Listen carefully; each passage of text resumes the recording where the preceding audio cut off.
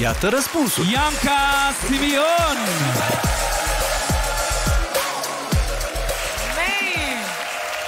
Relația cu tata e una foarte bună. E prietenul meu cel mai bun, persoana care mă susține în tot ce fac. El mă susține cel mai mult, mai ales cu facultatea, în perioada asta. De când eram mică, tata mă ducea la pian, tata mă ducea la balet, îmi făcea coc. Nu vreți să știți cum îmi făcea coc, mă punea așa și îmi ținea porul și mă punea pe mine să mă învârt ca să-mi facă coc. Da. Bună seara! Bună seara! Deci aș putea spune că e și prietenul meu cel mai bun, dar este și extrem de protectiv când e nevoie. Da. Este prietenul tău cel mai bun ce mi să rostuiești pe scenă, ai umor? Uh, păi se fac glume între prieteni, nu? Bine ați venit la noi la emisiune. Bine Stai că e stare de șoc, stai un pic, stați un pic, stați un pic, Stați. stați un pic să... Ha, a, nu știu care are bă, mai mari uh, emoții. Cred că e prima dată pe, pe o scenă, deși știi foarte bine să dea cu noi la filmări de, de micuță. E altă persoană acasă, deși pare că e foarte vorbăreț și foarte glumeț, acasă este într-o liniște totală. E foarte tăcut și foarte analitic și foarte sensibil. Tind să cred că suntem la fel pe partea asta, pentru că mereu mă gândeam că nu sunt ca el, că sunt introvertită, că sunt mai tăcută și atunci când mă regăsesc practic în el acasă, suntem la fel. Da. Acum mă adun și uh, asist la ce? La un rost? Haideți, domnișoare, e doar un străin. Curaj! Întotdeauna am vrut să mă fac actriță. Tata a zis că nu. Eu l-am ascultat așa că am venit. E ca pe vremuri când voiam să mă fac blondă. Tu nu mă lăsai și am venit acasă cu o perucă blondă pe cap. nu cred că ai luat un șoc mai mare ca în ziua aceea, decât poate atunci când mi-am făcut primul tataj. Asta nu ți-am spus.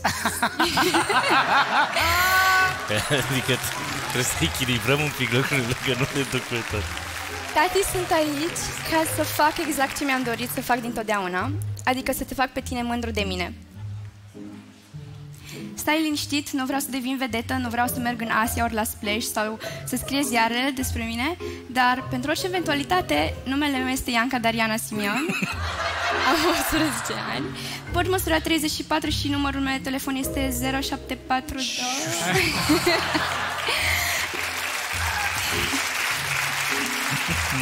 Continuați. Man, man, man. Aoleu, mamă. Lumea mea se învârte în jurul tău dintotdeauna. Dar mai ales din ziua aceea în care mi-ai făcut sistemul solar din portocale. Ca să fii sigur că nu o să mai uit niciodată mișcările de rotație ale Pământului.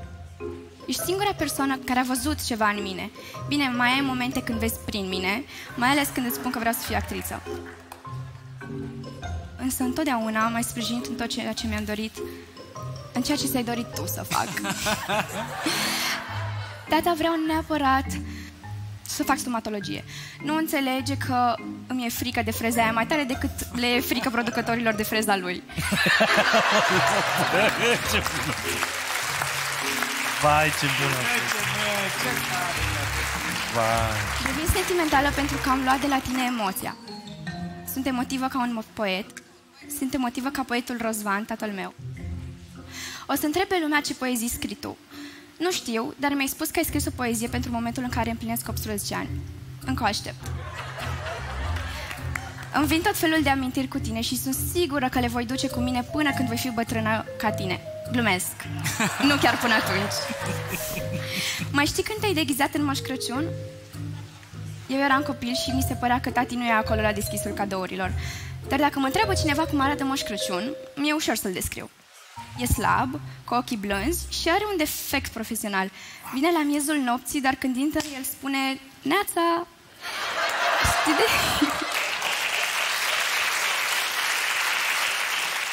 Știi de ce vreau să fii mândru de mine? Pentru că eu sunt foarte mândră de tine. Îți dai seama imediat când cineva cântă bine sau prost, dar nu-ți pasă că știi să cânți doar două, trei note la pian. Exact ca atunci când am învățat să cânt la pian, primul meu cântec Twinkle, Twinkle, Little Star. Și era așa de mândru când ai învățat și tu să cântăm la patru mâini. De atunci, de câte ori dai de un pian, te așezi și cânți. Nici nu ții cont că uneori e deja pianistul pe scaun. Cei mai mulți stați nu știu cum să facă față problemelor cu băieții.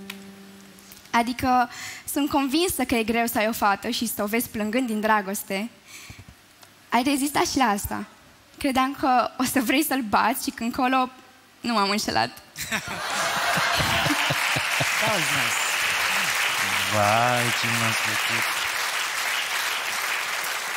Am crezut că o să mă judeci. Tu doar mi-ai ascultat și mi-ai explicat ce înseamnă viața și care este parcursul nostru prin ea. Mi-ai spus care este misiunea noastră aici. Fix ce-mi trebuia. Eu plângeam că m-am certat cu iubitul și ție ți-ardea de rolul omului în univers.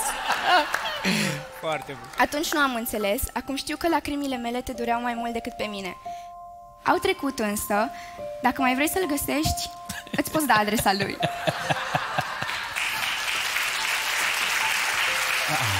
Nu știu exact dacă am moștenit de la tine simțul umorului, dar sigur am moștenit dependența de zahăr. Ești cel mai mare pofticios pe care îl știu. Era ziua mea și aveam o cutie de bomboane pregătită pentru a doua zi la școală.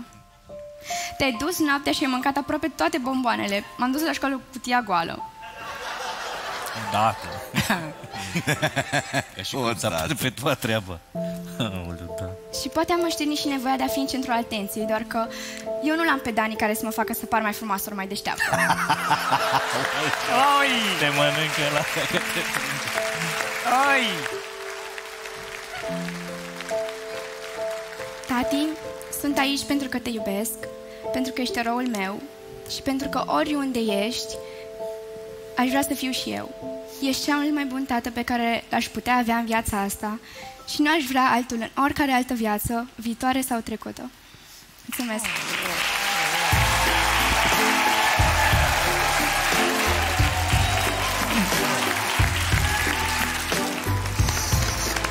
Mamă! Cel mai drăguț. Nice. Băi, băi, băi, băi, băi.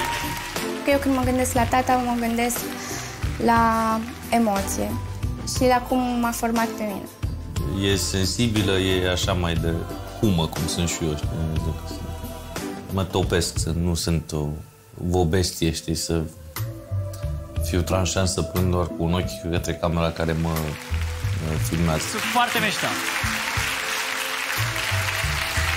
Te așteaptă, e, e aproape. Da, știu, știu, Cătălin, știu. te așteaptă. Mă bucur că ai o fată, nu o meriți. Ah, ea este Iancuța Prințesa. Este uh, inimioara mea. Uh, E prima dată când o văd vorbind și uh, scăpând de emoții. Îmi pare rău dacă ți-am transmis din emoțiile uh, mele. Sunt un tip uh, mult prea slab ca să duc atâta emoții într-o singură seară. Mulțumesc! A fost foarte emoționant pentru că a fost pentru prima dată când am auzit și altfel vocea. Și nu face-to-face, și nu pe o înregistrare, și nu eh, la telefon.